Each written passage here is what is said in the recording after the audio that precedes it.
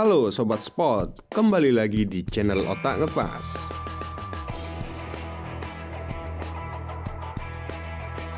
Berikut hasil pertandingan bola voli Proliga putaran pertama pekan ketiga pada hari Kamis 19 Januari 2023 serta klasmen sementara.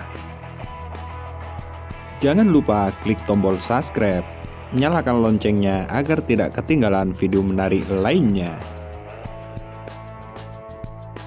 Berikut hasil pertandingan Proliga putaran pertama pekan kedua, Kamis 19 Januari 2023. Hasil pertandingan yang pertama antara tim putri Jakarta Elektrik PLN berhadapan dengan tim putri Gersik Petrokimia. Di pertandingan kali ini Gersik Petrokimia menang 3-2 atas Jakarta Elektrik PLN. Poin pada game pertama 26-24. Di game kedua 14-25. Di game ketiga 25-20. Di game keempat 23 25 dan di game kelima 5 lawan 15. Hasil pertandingan selanjutnya, tim putra Jakarta Stinbin berhadapan dengan tim putra Jakarta Bayangkara. Di pertandingan kali ini, tim putra Jakarta Bayangkara menang 3-1 atas lawannya Jakarta Stinbin. Poin pada game pertama 25 15. Di game kedua 25-27. Di game ketiga 22-25 dan di game keempat 12-25. Hasil pertandingan berikutnya antara tim putri Jakarta Pop Sivo Polwan berhadapan dengan tim putri Bandung BJB Tanda Mata.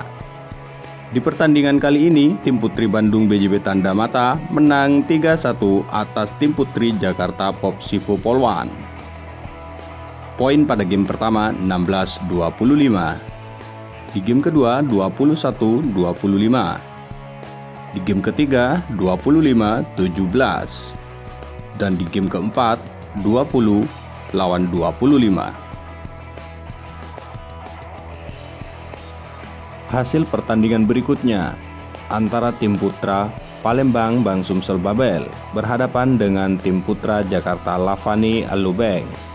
Di pertandingan kali ini, Jakarta Lavani menang 3-2 atas Palembang Bansumso Babel. Poin pada game pertama 18-25. Di game kedua 25-21. Di game ketiga 20-25. Di game keempat 25-22. Dan di game kelima 12 lawan 15.